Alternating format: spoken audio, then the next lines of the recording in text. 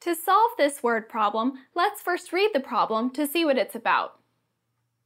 How much interest is earned in five years on $3,000 invested at an interest rate of 9% per year?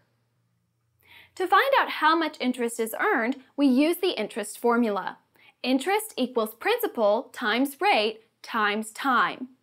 Or I equals PRT. Now we simply fill in the formula. Remember that principal is the amount of money invested, which in this case is $3,000.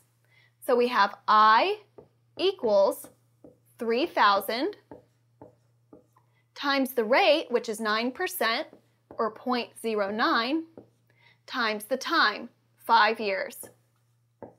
So I equals 3,000 times 0.09 times 5. 3,000 times 0.09 is 270.00, or 270. And 270 times 5 is 1,350. So the interest earned is $1,350.